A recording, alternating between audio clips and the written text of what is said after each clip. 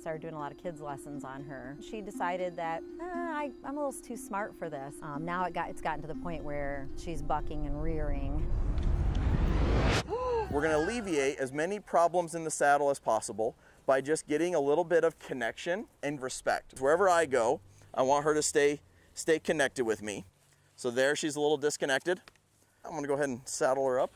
Now what I'm gonna do is I'm gonna use a little string. It's different, a little different feel than the kid's crop. Now I'm also giving her a loose rein. I always do less first. I'm just gonna bring my life up and squeeze. She's not going, so now I'm gonna touch her with my, my string and then I reset. Watch, I'm gonna bring my life up and squeeze, and we got her trot right away.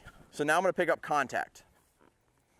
So right away, her feet slowed down when I picked up contact. She needs to know that these reins don't mean slow down. I've asked her to to make some changes today, but I'm asking you to make some changes today too. And if you both if you both go each other's way a little bit, you guys will ride off into the sunset.